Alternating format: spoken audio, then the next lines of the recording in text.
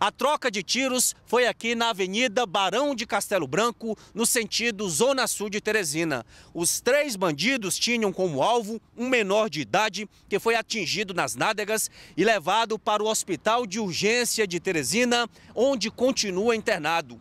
Quem evitou o assassinato foram os policiais da Delegacia de Homicídios. Os homens que queriam matar o adolescente são Felipe Monteiro Chaves, Joelson Rodrigues Alves Ferreira e Igor Daniel de Oliveira Bezerra. Os três foram conduzidos para a central de flagrantes no centro de Teresina.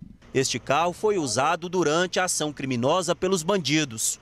O veículo está apreendido. A Polícia Civil também encontrou a arma que estava em posse dos acusados. Briga de gangue, segundo eles foram para matar ele, né? Só que eles levaram as armas em cima da viatura da homicídio, que era eu e o colega lá.